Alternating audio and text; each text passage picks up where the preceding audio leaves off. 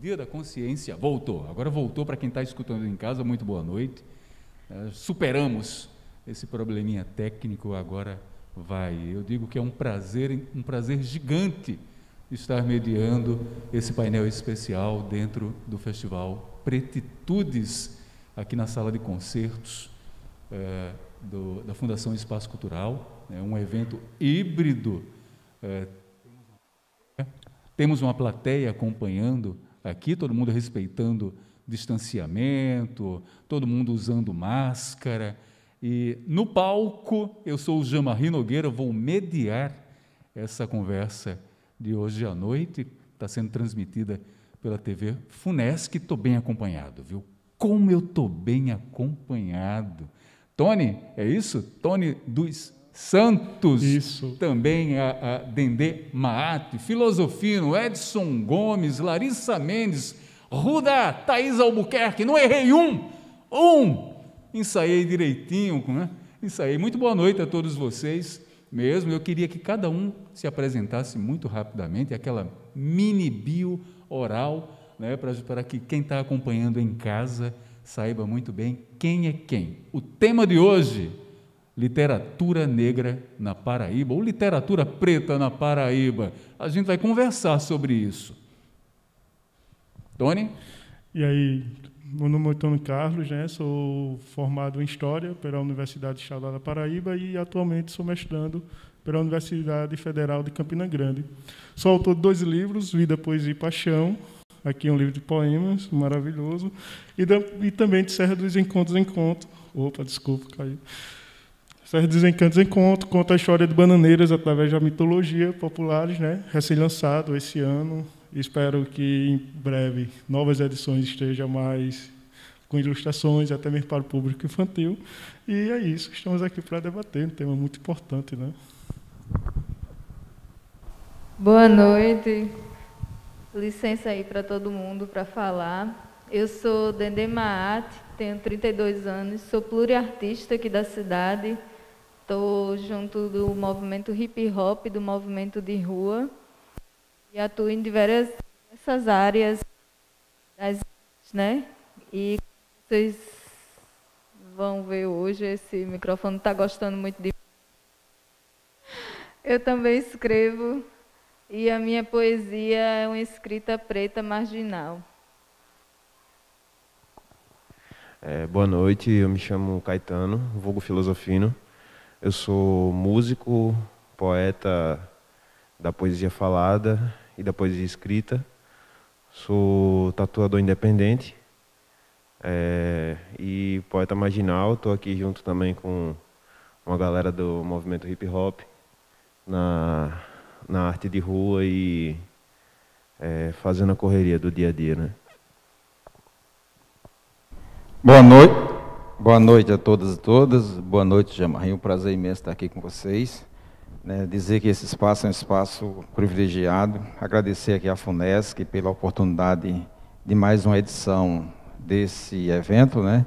E parabenizar a todos por essa edição. Eu sou Edson Gomes, né, também tenho alguns livros publicados, entre eles um livro sobre o quilombo do Guruji, que foi é, resultado de uma pesquisa de dois anos de investigação tenho um livro sobre poemas e atualmente eu ando escrevendo é, literatura de cordel, o mais recente, né, que acabei de receber da, da, editora, que é sobre a tragédia de Tracunhaém, a origem, é, digamos assim, o nascimento do território paraibano.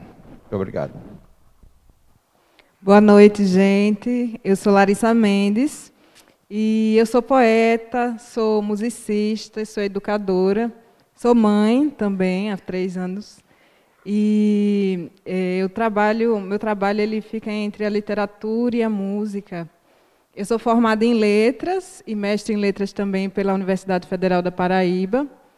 É, e eu agora eu estou cursando a graduação de música, de canto popular, também na Universidade Federal da Paraíba.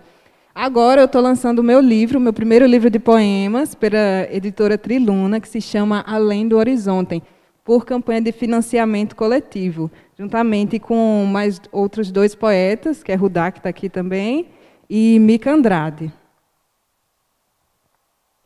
Olá, eu sou Rudá, tenho uma história muito complicada com a academia.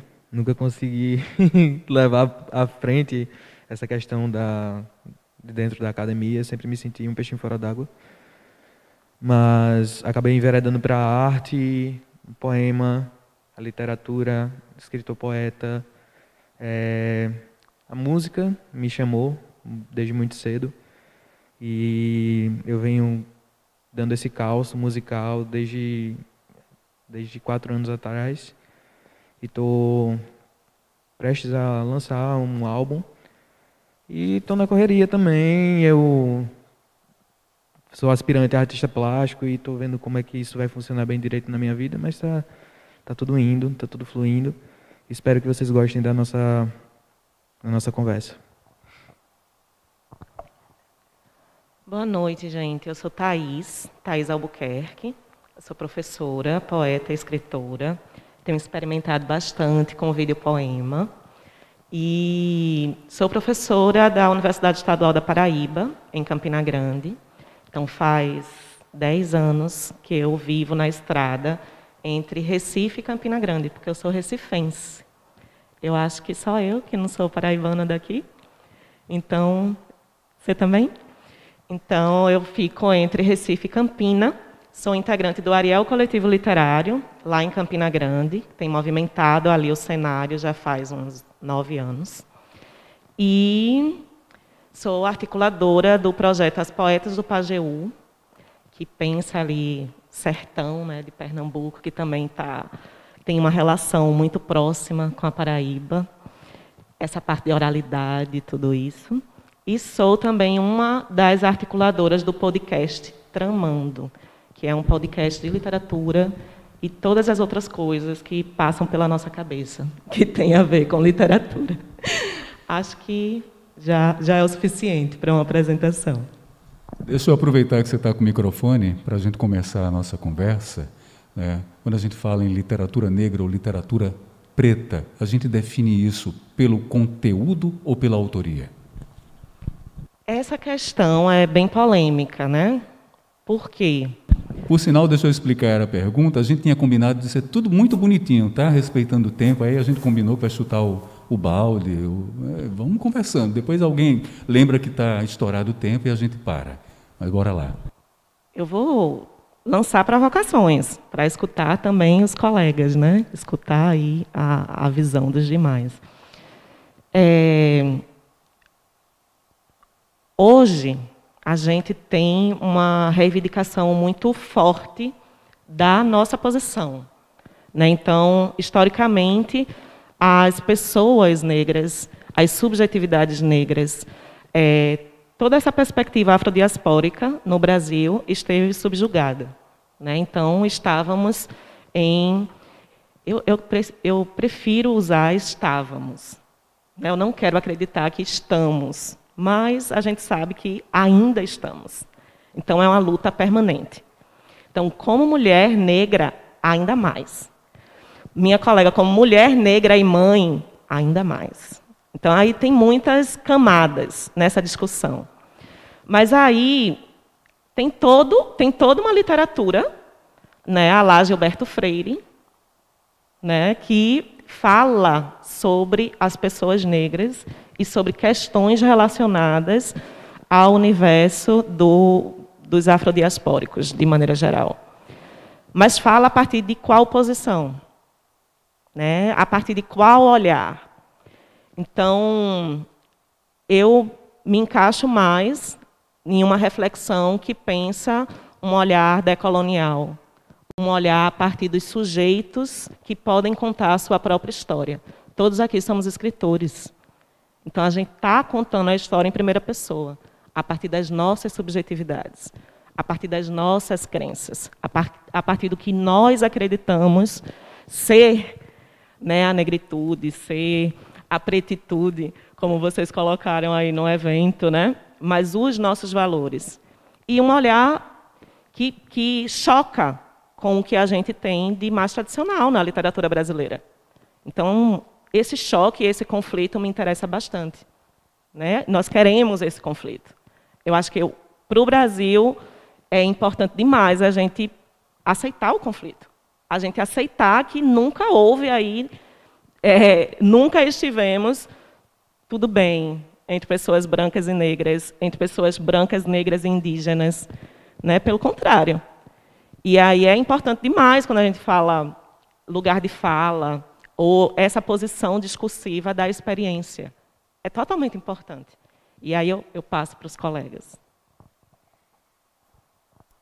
Muito obrigado pela fala. Uma fala extremamente importante. É, o que eu penso a respeito disso é que, resumidamente, a literatura negra é feita, por, feita de pessoas negras como só, não só o sujeito, não só o eu ativo na escrita, mas sim também como o objeto e o campo de exploração é para com as pessoas negras também.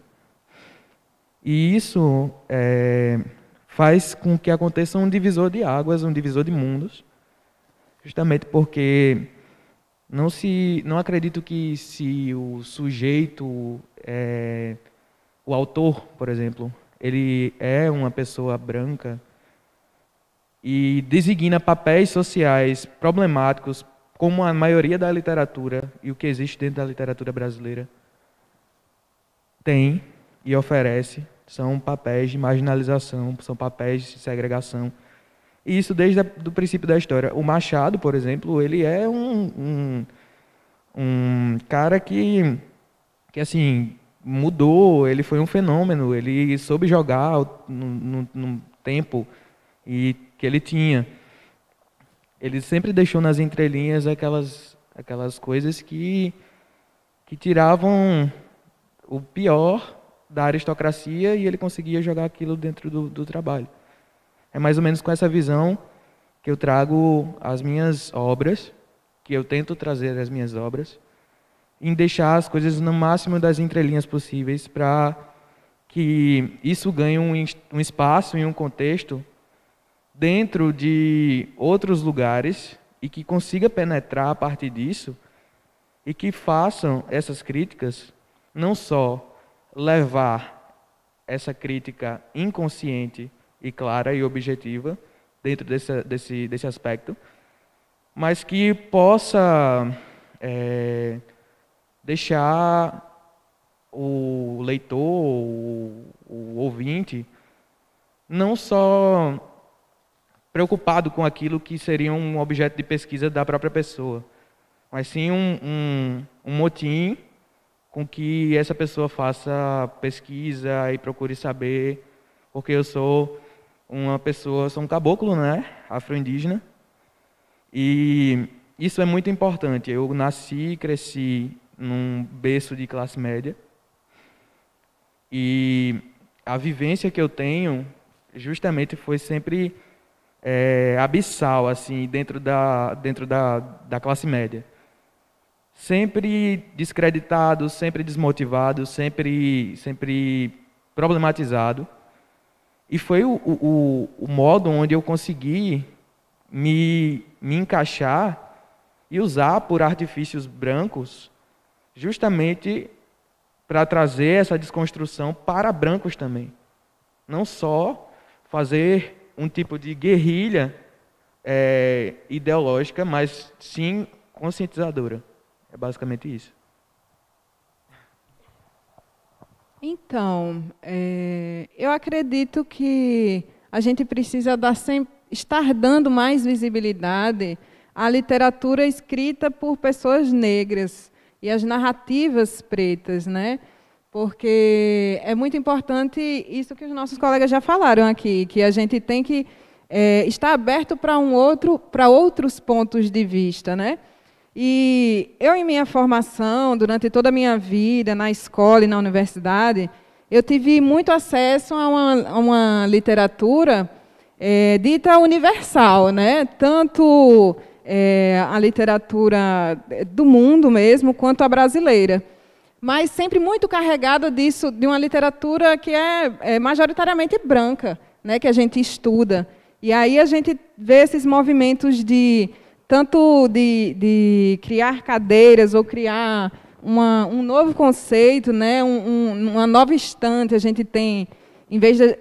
Como os, os autores negros eles não aparecem, então a gente cria uma estante para os autores negros. Né? Mesma coisa com a literatura feminina. A gente cria uma estante para só autoria feminina, mas acaba, ao mesmo tempo que possibilita né, essa, essa inserção, ao mesmo tempo é uma, é uma estante ainda pouco visitada. Né? E, recentemente eu participei de um festival de poemas lá em São Paulo, em que o meu poema foi, foi selecionado para minha surpresa, porque era um poema que tra trazia também um pouco dessa questão da pele, né, desse lugar de fala, desse lugar de um, uma personagem que não necessariamente é branca, né? E a pessoa é, esse festival ele também foi como esse aqui, né, que teve alguns atrizes, algumas atrizes e atores para interpretar o poema, né? Aqui a gente vai ver hoje é, os nossos poemas interpretados por pessoas negras, né? E nesse festival não foi assim.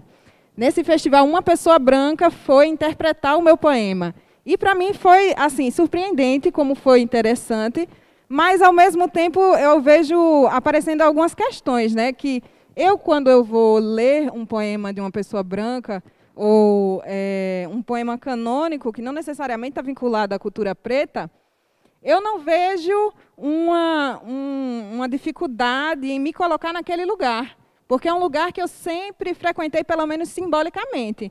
Não que na sociedade né, eu seja vista dessa forma, mas eu já entendo esse lugar. Ao mesmo tempo que, para uma pessoa branca, por exemplo, interpretar um, um poema desse, já coloca ela numa situação meio que, nossa, isso aqui eu não vivo, isso aqui eu não sei o que é isso. Então coloca também nesse lugar de você ver qual é o lugar do outro, né? Você se colocar nesse, nessas narrativas, nesses outros olhares. E não somente a gente ficar privilegiando somente um olhar, mas trazer essa diversidade, né? Trazer essas várias essas várias narrativas, são várias pessoas são várias comunidades, várias etnias que compõem esse país, né? E por que não a gente não está colorindo cada vez mais? É uma coisa que é necessária, né? É, a importância da gente definir esse tema como sendo uma literatura negra ou de pretos e pretas, isso nos remete a justamente o que a, a colega estava falando, que é o lugar o lugar de fala e o lugar de representatividade de, desse é, grupo de indivíduos e indivíduas que compõem esse tecido social, majoritariamente da sociedade brasileira, é, que é esse tecido miscigenado composto por pretos e pretas. É importante que a gente coloque que quando a gente fala de literatura negra, né, e a gente participa de um evento como esse, que está, é, é um evento como este é de uma magnitude enorme, porque você tem uma semana inteira, desde o dia que começou, e você perpassa por todos os campos da arte e da cultura. Isso faz com que nos, nos remeta a ideia de que o lugar de negros é em todos os lugares. Né? Porque a gente pensava sempre, por exemplo, que a música erudita, ou que a cultura, chamada dita cultura erudita, não era cultura para que o negro pudesse produzir. E você tem é, é, tenores né, fantásticos que são negros, que estão na literatura. A literatura, de um modo geral, quando você olha para a literatura, sobretudo a literatura paraibana, dificilmente, se você não está no meio de pessoas pretas que pro, produzem conteúdo, você não consegue saber quem são os autores paraibanos. A literatura paraibana passa, é, passa é, necessariamente a partir do conceito geral a partir de Zelém de Urrego, que dá nome aqui a esse conjunto, né, que é o Espaço Cultural Zelém de Urrego, passa por Zé Américo de Almeida, o Fosco da Nóbrega, Gama e Melo e tantos outros, Luiz Leal, que tantos outros nomes que compõem aquele espaço que não é um espaço para pretos e pretos, é um espaço para negros e negras, que é o espaço da chamada Academia Paraibana de Letras. Se você olhar desde as cadeiras dos seus fundadores até as composições mais recentes, pouquíssimos negros passaram pela Academia Paraibana de Letra como sendo esse, esse elemento produtor de uma arte que é a chamada literatura, seja no campo da poesia, seja no campo do romance, dos contos e, e das crônicas, etc.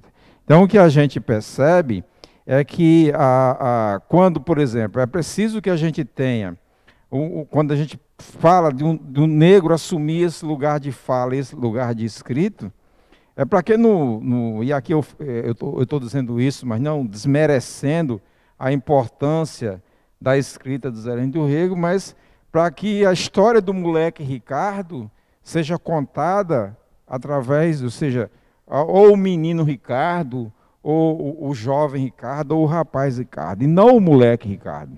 Né?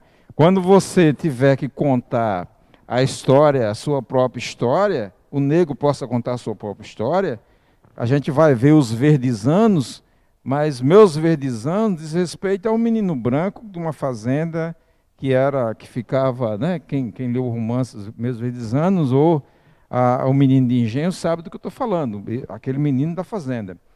Mas não conta a história dos negros e negras que tinha nessa fazenda. E contar essa história do ponto de vista, né, do ponto de vista que dê visibilidade que dê respeito e coloque em posição de estar numa posição de destaque. E não, como já coloquei antes aqui, a posição do, do, do chamado moleque, ou sei lá, eh, tem um, tem um livro que eu li uma vez chamado Tição e Preguiça. O livro, o livro era tão, era tão é, é, racista, né? era um, eu não lembro mais o nome do autor, faz muito tempo isso, mas até hoje eu guardo o título do livro, Tição e Preguiça, se referia a dois meninos pretos da comunidade. Então, quando eu li aquele livro lá nos meus 14, 15 anos, eu era menino de comunidade, morando na periferia do Cristo Redentor, e vendo tudo que ocorria na comunidade. E eu não tinha a percepção que tenho hoje, mas a olhar para aqueles espaços, como que pode o caba ter, ter escrito e aí pensar com tanta ira contra é, em relação a esse povo, que é um povo bonito, um povo capaz, um povo que tem uma capacidade enorme de produção. Eu acho que é isso. Literatura preta é feita por preto, negro, sobre negro e preto. Respondendo a pergunta. é, e falando falando de protagonismo, a gente a gente se depara com uma barreira que é a barreira uma barreira que a branquitude construiu é, para poder dizer o que é literatura, sabe? Para poder dizer o que é poesia, né? Se eu chego em tu aí e pergunto aí, oh, o que é, que é poesia para você? Vem na tua mente primeiro aquela pessoa declamando, aquela imagem dos trovadores, né? Tem sangue de português na minha veia, velho. Tem história dos trovadores lá atrás, aquela galerona lá tal. Tem isso aí. Ficou, ficou, velho. Ficou essa imagem da poesia pedante, sábia, inteligente demais, sabe? Eu me lembro de uma, de uma paródia de Criolo, que ele canta assim: Os saraus tiveram que invadir os botecos, porque biblioteca não é lugar de poesia. Biblioteca tem que ter silêncio. E uma gente que se muito sabida, pai. E aí, a poesia marginal. A literatura considerada marginal. De onde é que ela vem, para onde é que ela vai? Como é que ela é vista? Será que ela não conta também a história do povo negro? Será que ela não, não é também um registro histórico potente marcante? Será que também a música, aquele fancão lá do, do Silva, era só mais um Silva que a estrela não brilha? E aí, será que essa música também não faz história? Será que isso também não conta? Né? Então, eu venho de um lugar que é um lugar de poesia que eu sempre trabalhei com meu pai na oficina. Sempre trabalhei, meu pai tem uma oficina mecânica, pá, sempre trabalhei com ele na oficina. Desde moleque estudava, trabalhava, estudava, trabalhava. Eu nunca tive muito tempo para aquelas inicia, inicia, iniciativas é, de ser aquele menino que fica ali estudando e pá. Eu estava com a mão suja de graxa. Eu aprendi hoje em dia a estudar, escrever no bloco de notas do meu celular. Eu escrevo as minhas poesias no bloco de notas do meu celular. No corre. Na maioria das vezes a concepção das poesias vem em cima da bike. Sabe? Tô ali, tchau, tchau, vê umas rimas, pô, que massa, serotonina lá em cima. Uh! Quando eu parar um pouquinho, eu vou botar aqui no modo microfone, vou gravar tudo e a poesia está escrita. É poesia, é minha vida, é literatura preta. Eu não tenho um livro publicado ainda, né? Vai rolar, pá. Mas e aí, a provocação que eu deixo é essa. É, o que é essa literatura? saca? O que é essa história da poesia e pá, que marca tanto e, e, e, e, é, vem de, de, uma, de um lugar assim, de uma muralha, porque é uma muralha que a branquitude construiu para selecionar aquelas pessoas que são inteligentes e sábias e os poetas e os artistas ali.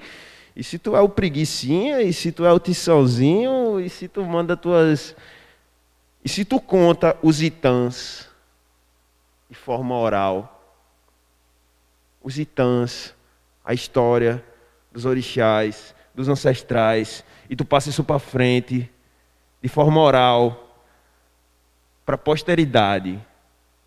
Isso não é literatura? Isso não é poesia? A nossa poesia falada. É isso.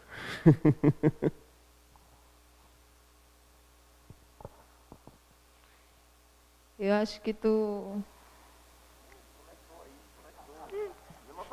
Tava desse jeito aqui. É sobre isso, né? É difícil, difícil definir o que é nosso a partir de conceitos que não são. Aí eu fico a partir daí já fervilhando aqui, que é isso. Que eu estava pensando, literatura, Está todo mundo falando muito de escrita. E eu tenho, eu sempre tive, e ainda tenho, uma dificuldade muito grande, por exemplo, de encaixar o que eu escrevo enquanto poesia, porque não foi isso que eu aprendi na escola. A forma que eu escrevo nunca foi poesia, de acordo com as normas aí. E aí já leram, já disseram que era crônica já disseram que era tanta coisa e eu fico, e é, eu nem lembro mais o, como é que se enquadra cada coisa, mas é isso aí. Eu tô, estou escrevendo, tá, estou jogando no mundo e de preferência pelas ruas que os ventos carreguem aí para onde deva ir. Tem uma frase que eu gosto muito, que acho que é nigeriana, e para quem não sabe, Nigéria é um dos países do continente chamado África, que diz assim: a história da caça nunca vai ser contada é, de forma diferente se ela sempre for contada através da perspectiva do caçador, né? A história do leão, enquanto, enquanto, enquanto sendo caçado, por exemplo, ele, ela vai ser a história fantástica daquele caçador que conseguiu capturar aquele animal. Mas aquele animal ele tem a história dele. E se ele fosse contar a história dele, como seria? E eu acho que essa essa esse pensamento de de querer roubar tudo que é nosso, até de se querer se enquadrar enquanto uma pessoa que escreve sobre literatura preta enquanto branca, é o que fortalece esses livros racistas que são colocados na nossa escola e aí ensinam aos pequenos e às pequenas a ficarem reproduzindo e a se tornarem racistas, né? Então, teve aí a polêmica de um livro, mas quantos não tem na escola? Monteiro Lobato está até hoje no altar, né? Ninguém tirou ele de lá. Ele é um dos maiores eugenistas. Ele tem, tem vários. Aí, polêmica com Dendê. É, aqui é só com Dendê, e fervendo, viu? Aí ele tem, por exemplo, o, um dos livros que é O Presidente Negro, que é considerado o livro que tem mais práticas eugenistas, assim, conceitos, ideias que ele joga. E que eu comprei ele, inclusive, para queimar. Mas isso aí é para trabalhos futuros. Estou pensando aí, governador pode bancar, por favor, essa performance. É, esse livro, por exemplo, ele foi republicado algumas, várias vezes. E uma, a publicação que eu comprei, inclusive, acho que foi de 2019, 2018, pela editora Globo, que também é um dos, dos canais né, de, de comunicação mais racistas aí que tem e de defesa esse aspecto. Então, é sobre isso.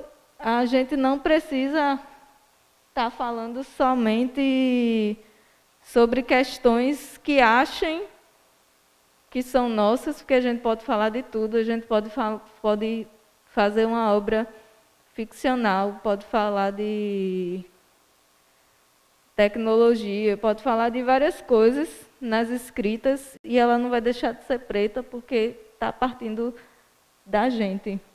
É, mas é muito mais interessante quando são afro-referenciadas, eu prefiro. Gostoso esse debate, né? Olha, a tua pergunta ela me faz tipo fazer formular outras quatro perguntas. Por exemplo, quando a gente pensa o que faz a nossa obra ser uma literatura preta, considerada preta, por exemplo. Eu gosto desse termo preto. Né?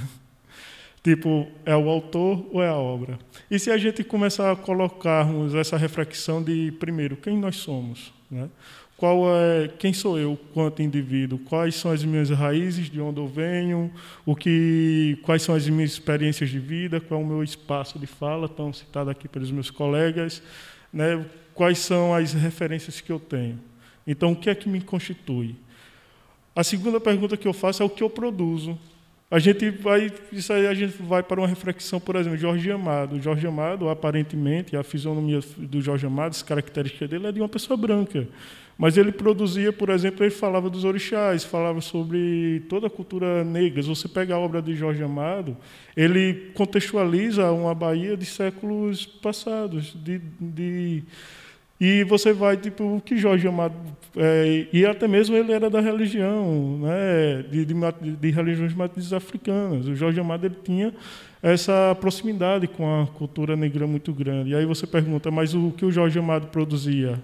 É literatura negra? Né? Aí a gente começa a questionar. Mas, porém, também a gente já começa a refletir por outro, por outro espaço. Os meus colegas falaram sobre questão de literatura marginal. Aí a gente reflete, por exemplo, quando a gente pensa o termo marginal, a gente já começa a ver que tem uma literatura central. Mas, dentro do nosso espaço, será que nós nos reconhecemos quanto a nossa obra ela também é um, uma obra que pode estar no centro no, é, dentro da, ou a gente vai continuar nos afirmando quando marginais, que a nossa obra ela é periférica.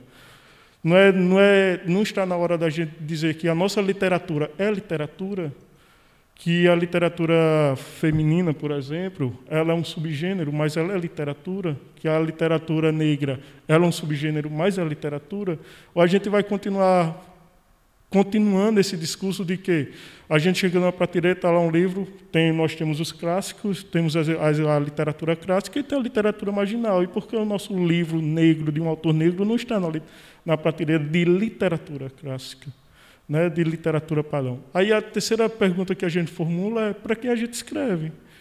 A gente pode, um branco, por exemplo, a gente pode impedir que tenha até discussão no mundo acadêmico hoje sobre a questão do debate da apropriação cultural, né? Se um branco, ele quando se apropria ou se ele pega alguns elementos da cultura negra, você está se apropriando daquela cultura indevidamente ou não, E isso é um debate que é muito assim, que é feito e tal. Aí, mas a gente pergunta, mas se ele quiser fazer, por exemplo, é um escrito de um personagem negro, mesmo se e se ele tiver a vivência através de experiência de amigos, de familiares ou de outras pessoas, ele poder falar, ele está impedido de falar ou a literatura dele não é uma literatura que deve ser desconsiderada ou não contribui para a nossa reflexão, para a inserção do negro dentro desse mercado. E a quarta pergunta que a gente formula, né, além de ser tipo para quem a gente produz, né, tipo quem é que está nos lendo? Quem é que vai ler a nossa literatura? Quem é que vai assistir os nossos filmes? Quem é que vai ouvir as nossas músicas? Quem nós queremos que nos consumam. Essa é a perspectiva que tenho. Por exemplo, quando eu fiz, escrevi esse livro, é, Vida Depois de Paixão, eu deixei claro lá que ele, que eu, eu sou um autor gay, colocando né, nessa palavra que eu escrevo, mas eu não estou dizendo que só quem pode me ler são é o público LGBT. E se o meu público principal for um público hétero? E se a minha obra ela tiver mais a, a ideia de fazer com que as pessoas reflitam quanto o preconceito de uma sociedade, ela menospreza. Aí, quando a gente parte, por exemplo, em ser um autor gay, negro, dentro do cenário que o amigo citou ali, dentro, até mesmo dentro do próprio cenário paraibano, né? eu lembro que no primeiro Festival Literário de Bananeiras, eu estava com dois autores aqui da Paraíba, brancos, de grande nome assim, né, com uma carreira bem sólida. Aí nas manchetes estavam lá, né, era o dia do meu lançamento do meu livro, isso aqui só para exemplificar, mas o destaque da mídia foi para os dois que estavam compondo a mesa, mas não para o meu livro. Aí você pergunta, aí a pergunta que você faz, o meu nome só estava citado.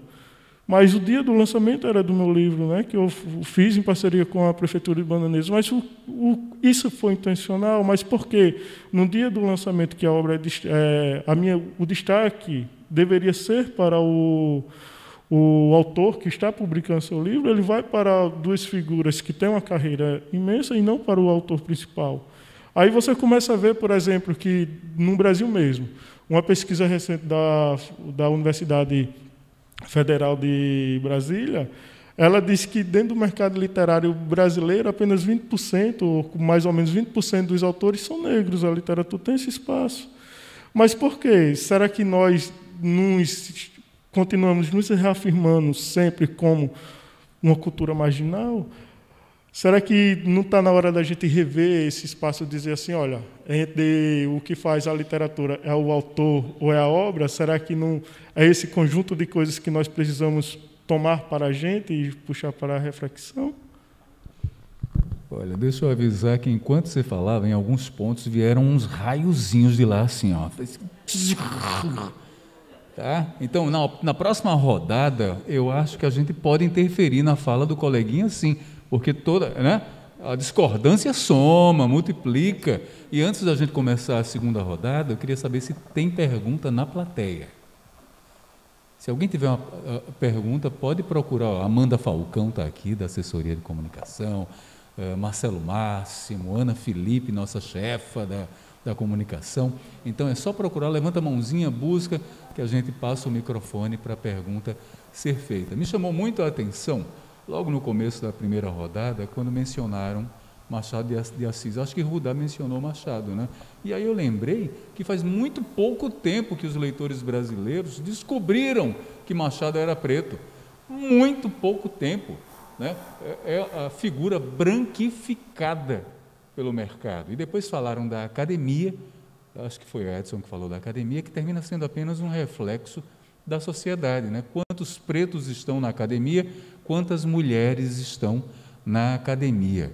Filosofino falou a respeito da, do muro, da barreira, e eu queria saber o que é, que é feito, que estratégia é montada, a, a partir de Thaís, por favor, Thaís, que estratégia é montada, que estratégias são montadas para quebrar esse muro? E aí eu, eu, eu faço, a, depois do subgênero, a subpergunta: em tempos de internet e redes sociais, não fica mais fácil quebrar o muro, não?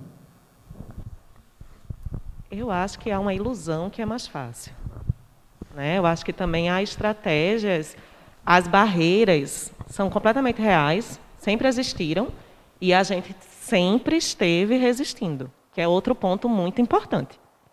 Então, eu, em vários momentos, filosofia falando, eu também queria falar assim, assim, poesia, não, pensar poesia sem oralidade é complicado, né? Assim, pensar literatura a partir da oralidade é central. Se a gente está falando sobre África, se a gente está falando sobre é, diáspora africana, se a gente está falando sobre perspectivas afrocentradas. Então, quando a gente pensa perspectivas afrocentradas, esses personagens brancos, sejam tanto como autores, escritores, sejam como os personagens mesmo. Uma, uma escritora muito famosa me disse uma vez: Meus personagens não têm cor. Eu disse: Se não tem cor é porque é branco porque é o universal.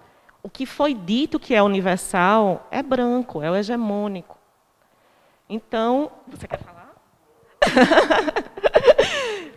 né? Então, assim, quando, quando a gente fala da necessidade de popularizar, que ainda a, os escritores e as escritoras negras, por mais fenomenal que seja, como estudiosa de literatura, Conceição Evaristo é um dos nossos maiores nomes, é um fenômeno. Aquela mulher, né? Ah, o povo da Academia Brasileira de Letras tinha que dizer assim: pelo amor de Deus, venha. A gente que tem que estar honrado com a sua presença. Aí eu fico, isso por uma parte. Por outra parte, eu já fico mangando dessas academias. Porque tem umas instituições que são falidas, né, minha gente? Vamos também falar sobre isso? Essa academia, quem ali realmente está preocupado com literatura? Quantas pessoas que estão sentadas ali são da literatura, escrevem literatura, se preocupam com leitura, se preocupam com cultura? Tem uma questão de status. Então, também tem isso muito fortemente nas academias brasileiras de letras. Então, por um lado, deveriam dar graças a Deus que uma mulher como Conceição Evaristo né, gostaria de participar. E, por outro lado, Conceição Evaristo devia dizer: para que eu vou me juntar com esse povo? Será que isso é realmente válido né, para a minha história, para o que eu tenho construído? Eu fico pensando sobre isso, assim, como também tem várias camadas. É, tinha outro, sim, são tantas coisas, mas para passar, né, para escutar também as demais, eu acho que o, o o ponto principal aqui, quando a gente pensa em focar, né, focar nesse corpo que produz, o corpo negro, que é inteligente, que produz cultura, que está pensando poesia, que está cultivando poesia, que está colocando várias, várias, várias, várias possibilidades de arte no mundo. Então, esse corpo na história do Brasil né? Um corpo negro, é até um CD maravilhoso de Lued, né? Lued e Luna. Então, esse, esse corpo negro que foi animalizado durante toda a história da, da sociedade moderna. Então, o processo de sequestro e de, de escravização do povo africano nas Américas tem sequelas até hoje é algo que a gente precisa também reescrever em termos de história, em termos de literatura. A gente ainda não trata com seriedade esse trauma coletivo. Não trata, né? Nas escolas, o que foi que a gente discutiu sobre isso? Como é que a gente pensa hoje as sequelas, né? O que ficou dessa, desse processo? Né? Por que ainda são os corpos negros que podem levar 80 tiros na rua? Mas quando a gente pensa na academia, nós não somos majoritários. Na academia universidade e na academia literatura. Né? Não somos. Então, assim, a, a mudança de perspectiva, de parar de pensar simplesmente nesses autores brancos, autoras brancas que falavam sobre os negros, é nos tirar da posição de objeto de estudo e nos ver como produtores de conhecimento, produtores de cultura. E esse caminho, esse movimento é fundamental. Eu acho assim, é, é preliminar para a discussão. Antes de passar para a próxima fala, eu queria, por favor, quanto tempo temos ainda? Dez minutos? É isso? Obrigado. Rudá, por favor. Eu queria que as falas fossem breves, tá certo? Uh, um, dois, três, quatro, cinco, seis. A gente tem uh, um minuto para cada um. Pode ser? Pode ser. Assim, é, quando, quando a colega falou aqui que, que seria a produção literária é, robusta, apre, é, apresentativa, presencial, não só presencial, com falado, palavra cantada, palavra é, dita, é, essa produção de corpos negros realmente é o que precisa ser, ser levado em primeiro plano. Desde de, dentro da academia mesmo, a gente pode conferir isso, que a gente chega na academia e é obrigado a estudar Lombroso, é obrigado a estudar é, darwinismo social, e isso vai pesando na cabeça da gente de uma forma em que eu não consegui aguentar o suficiente para poder é, entender que não além eu, eu, eu acho muito foda porque vocês conseguiram subverter essa questão. Eu simplesmente não consegui passar muito tempo na academia porque era só pauta branca. E isso me levou a uns maiores gatilhos que vocês podem imaginar na minha vida. Foram anos e anos de depressão, anos e anos de, de sem saber o porquê, alcoolismo e tudo mais. Mas eu quero, o que eu quero te deixar no, no, no final. Pronto. A gente sofre o eco dessas consequências, por exemplo, do que eu estava falando do Cesário Lombroso. É que desde Lombroso até o eco do que fizeram com a gente, a Constituição de 40, que foi formada pelas ideias de antropologia criminal. E aqui, hoje, o que a gente vê na Constituição atual é só pedrada para cima de nós, pretos. E assim, é, e esse bombardeio é todo, de todo lado. Então, assim, é, o boom da questão X-chave é que, tipo, a gente precisa estar tá produzindo, a gente precisa estar tá levando em consideração todas as nossas produções não esquecer nunca de, de, de mascarar as nossas produções ou ter medo de, ser, de apresentar as nossas produções, porque é, a gente está falando da gente mesmo.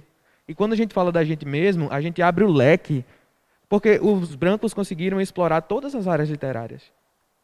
Desde a dor, do sofrimento, da, do amor e tudo mais. E a gente precisa começar a fazer produções literárias tão vastas quanto, quanto essas, para poder realmente a gente é, fazer essa movimentação de entender e as pessoas entenderem que a que a gente também é capaz de fazer essas produções e nós somos capazes de fazer isso. Então, é, eu queria falar rapidamente sobre essa, essas questões, tanto que Rudá, que nossa amiga também falou, é, filosofia, que esse lugar é, de negro, eu acho que para a gente estar aqui hoje, para a gente mostrar nosso trabalho, acho que tem uma primeira, uma primeira coisa que é a, a questão do afeto e da autoestima. Que para a gente, é, como o Rudá estava falando, né, para a gente mostrar o nosso trabalho, a gente tem que, através, a gente tem que é, debater consigo mesmo né, e acreditar em si mesmo, porque a gente já recebe tantos nãos na vida que a gente por um tempo a gente até desacredita de nós mesmos, né, do nosso próprio trabalho. E, e, e ainda bem que se formam redes também. Eu queria falar desse é, de como editoras independentes também são muito interessantes para a gente. Né? Aqui em João Pessoa a gente tem duas editoras que eu conheço. É, editora Escaleiras, da Débora Gil Pantaleão, e a editora Triluna, que é por onde eu estou lançando o meu livro, Rudá também, e Mica Andrade, esse, esse mês a gente está fazendo esse financiamento coletivo através de uma editora independente. Ou seja, é, nós também temos que ir em busca do nosso espaço. Né? Ao mesmo tempo que a gente vê essa barreira muito grande, né, que a nossa é, forma de arte muitas vezes não é vista como arte, né? E aí, em todos os campos, né? É, por exemplo, também, sei lá, o, o, artesanato e artes visuais, né? O que define o que é um, o que define o que é outro. A gente tem isso em, várias, na, em vários campos, várias linguagens artísticas, né? Mas, ao mesmo tempo que a gente tem essa dificuldade de ser visto enquanto, é muito importante também para a gente é, estar ganhando também esse, esse respaldo. Então, tem a, a editora Triluna, ela está, inclusive, com a chamada é, aberta, Lua Negra, do ano 2, né, para publicações de livros de pessoas negras que queiram lançar seus primeiros livros inéditos o ano que vem. Então, acho que é muito interessante também pensar nesse tipo de movimentação.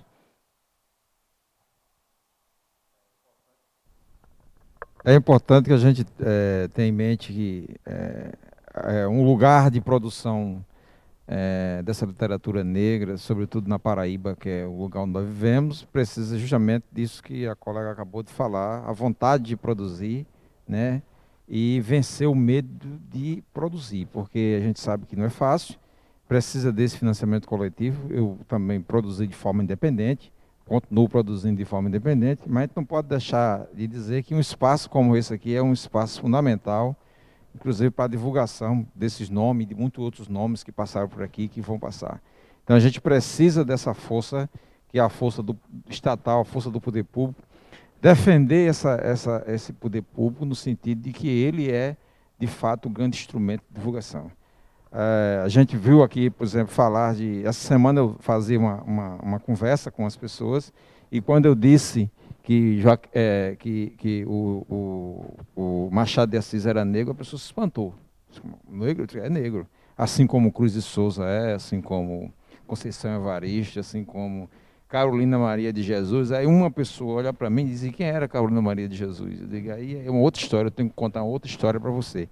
Porque, assim, você só conhece autores negros? Não, eu conheço também os branquinhos também, conheço todos os brancos, um monte de autores brancos também. Mas é porque esses a gente precisa trazer, a gente precisa conversar sobre eles para que eles não caiam na invisibilidade. Eu estava vendo hoje uma discussão que o Aldário Dantas, que é o camarada que pegou os cadernos de Carolina Maria de Jesus, deixou com a família e a briga na justiça para fazer a devolução dos cadernos pertencentes a Carolina Maria de Jesus que a família quer de volta esses cadernos e a família do Aldalho Danta não quer devolver os cadernos, que tem como fosse um objeto dele. Então, essa, essa produção literária é, de pretos e pretas passa por esse, por esse tipo de violência, né? Seja a violência que nos leva que, através de, das expressões de fé, né? E eu digo isso aqui para fazer aqui um, uma reverência e nos solidarizar com aquele casal de colegas que foram assassinados essa semana é, em Alhandra, né, mães e pai de santos dois, né, sem, a gente até agora não tem um motivo para aquele assassinato, senão intolerância religiosa, é o que a gente percebe, mas é isso que passa toda forma de produção e de cultura é, produzida por pretos e pretas. E, e aproveitar para agradecer a oportunidade de estar com todos vocês aqui nesse espaço, e nesse é, é, festival, que é o Festival Plenitude? Eu acho, acho brilhante a iniciativa de é, editoras independentes, publicações independentes. Acho necessário esse, essa busca por esse espaço, sabe, para além do marginal, eu não falei que a gente não precisa ser, que a gente precisa estar tá longe da, do mainstream, do, do universal, sabe? Não falei isso. Eu acho que você está reproduzindo o discurso do opressor quando você diz que, ah, porque você vai querer ser o marginal e não sei o quê. Vai, não é muito bem isso. Para falar a verdade, eu não estou aqui porque eu quero, eu estou aqui porque me botaram nesse lugar. Sacou? É um, não é uma escolha, velho. Eu estou lidando com o que a vida me deu. Sacou? Então, ao invés de reproduzir o discurso do opressor, vamos entender o lugarzinho do irmão. Sacou? É... E quando. E, e, e quando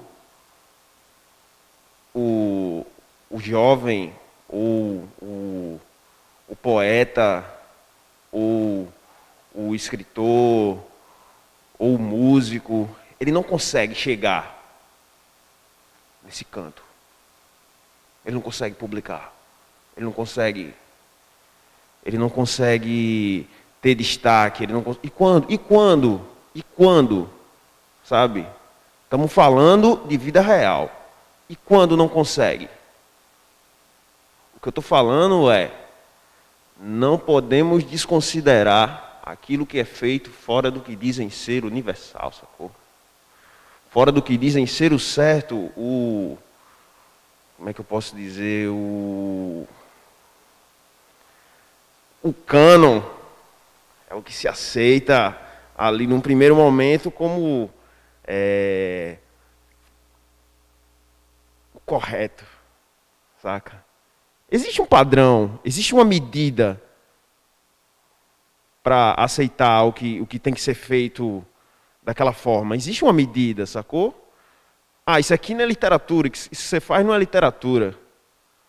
Vai escutar um funk, vai escutar um passinho, vai ver os moleques mandando passinho, vai ver qual é. Não exclui isso não. Sacou? Não exclui isso não. Não estou falando que a gente não pode chegar nesse lugar não, pô. Não estou falando que a gente não pode chegar e publicar. Eu quero publicar minhas poesias. Eu tenho poesias sobre existencialismo, lidas em cima de Jean Paul Sartre, lidas em cima de Albert Camus. Sacou? Eu tenho poesias de existencialismo, eu tenho séries de poesias sobre isso. Eu não sei onde foi parar, perdi na correria da minha vida. Eu não sei onde foi parar, eu preciso achar isso. E quando a vida faz isso com você? E quando a vida te coloca na perspectiva do marginal? Tu vai ser o quê? Sacou? Tu vai ter que vencer na pum, pum, pum. Na base da porrada. Dende, é... Olha, ok. Eu falo devagar, eu tomo tempo. Aí depois tu fala que tu já é o último. Tá bom? É... Dia desses eu vi uma indígena falando, um artista indígena. Eu não sei se era dela ou do povo dela, também não vou lembrar o pertencimento dela. Ela disse assim que as feridas, ela trouxe essa reflexão, né? Quando a gente se fere, a cura, ela vem pelas margens. Então, eu me sinto muito confortável de me reafirmar enquanto poeta marginal. E eu, sinceramente, me sinto muito, muito, muito mais à vontade. Eu não tenho preocupação de querer ocupar um lugar onde está a branquitude, porque eu, não, eu, fico pensando assim, se eu trouxer minhas poesias e tiver essa galera, o que, é que elas vão tirar dessa poesia? Eu não faço para elas. Eu não faço para elas. Eu faço para o meu povo, eu faço para mim, eu faço para tudo isso que eu represento, quem eu sou, quem eu fui, quem eu estou agora, os que me trazem até aqui. Eu não faço para essa galera. Agora, se quiser me convidar pagando bem, eu até falo. Porque de graça também. Eu ando recusando convites em março, em julho e em novembro, que são os meses que mais me chamam, né? Quando porque geralmente o Estado tem dinheiro para tudo no mundo, mas não tem dinheiro para mim. E quer que eu fale, quer que eu ensine, porque isso aqui que eu estou falando é muita vida vivida. Não é uma coisa instantânea. Isso aqui tem valor. Inclusive, poderia ser maior o valor de hoje. Eu devo salientar isso também, porque é complicado a pessoa ser chamada somente uma vez na vida e ainda tão baixo o valor. Mas é isso, né? A gente não pode dispensar. Porque mesmo sendo baixo, ajuda em alguma coisa. E aí, eu, sinceramente, de graça na minha vida, eu já faço muito. E é onde eu me sinto confortável. Quando você falou sobre essa coisa da internet, para mim, quando entrou na pandemia, que eu tive que lidar com essa plataforma para falar com os meus, com as minhas. Nossa, foi horrível. Horrível, horrível, horrível. Essa coisa de ter que lidar com, com números, com algoritmos racistas, com é tanta coisa. O racismo ele está em tudo, está em tudo e está em todos, reproduzindo ou sendo. Reproduzindo, quem reproduz é a gente, né? Se a gente não acordar para a vida, para quem a gente é. Eu acho que é isso. Me chamem para mais coisas, tá? Pagando muito bem, obrigada. Tony, você. Um minuto. Terminar, a gente vai tomar um cafezinho ali, conversa, tá bom? Eu sei que você quer falar uma hora agora, Tony, mas a gente tem um minuto e meio, tá certo? Pronto, eu só preciso de, de um minuto mesmo. Eu só queria dizer o seguinte: eu também sei o que é estar em um espaço negro, porque eu sou negro. Eu sou negro, gay, gay vim de uma comunidade pequena. E eu tô, quando eu falo assim que eu não estou reproduzindo um discurso branco, eu estou falando exatamente que nós precisamos nos reafirmar mesmo. E em nenhum momento eu peço até desculpa se vocês dois se sentiram, é, em algum momento, agredidos com a minha fala, mas é isso mesmo, nesse sentido de que nós precisamos nos reafirmar. Aí respondo a sua pergunta, no, quando vou dizer assim, o que a gente precisa fazer para romper as barreiras, os muros. É a reaf... primeira coisa, a reafirmação, quem somos, a pergunta que eu fiz. Para quem nós produzimos? Você falou, interessante. Eu produzo para o meu povo. Para que eu produzo? É interessante a gente responder essas questões. Qual é o espaço que eu ocupo? Ao espaço marginal, quando eu falo assim que mesmo a gente se assumindo que é o espaço de marginal, mas a gente tem que deixar claro que essa literatura é literatura, porque quando a gente diz para as pessoas é uma literatura marginal ou uma música alternativa, por exemplo, as pessoas têm a ideia que é outra coisa não ser música. Mas a gente diz assim, ah, a música é alternativa porque é um gênero. Mas é música. Seu Pereira, quem é que não conhece o Pereira aqui? E as pessoas dizem, eu gosto de música alternativa, mas eu gosto de Legião Urbana, música alternativa que escuta é seu Pereira. Ou seja, por que alternativa? Não é porque a gente coloca a, a música dele como uma alternativa, mas não, como na, não está na playlist, playlist principal. E é isso que eu estou falando. A gente tem que nos reafirmarmos o tempo todo. É uma questão de identidade. Do, do mesmo jeito que vocês têm as lutas, eu também tenho a minha. Né? E, e é isso, eu acho que. Eu peço só desculpa mesmo porque eu senti que vocês sentiram um pouco incomodado.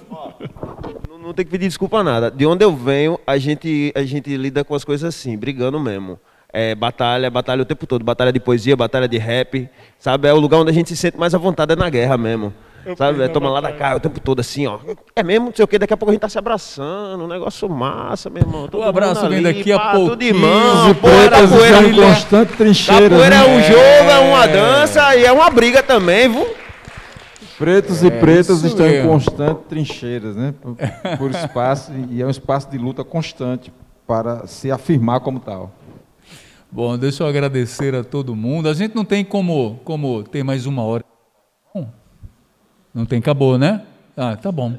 Deixa eu agradecer a Thaís, Rudá, Larissa, Edson, Filosofino, Dendê e Tony. Muito obrigado, muito grato. E grato a todo mundo que veio e estava acompanhando esse painel fabuloso. Oito da noite, tem leituras pretas, é isso? Oito da noite? Oito da noite. Grato mais uma vez, boa noite e até.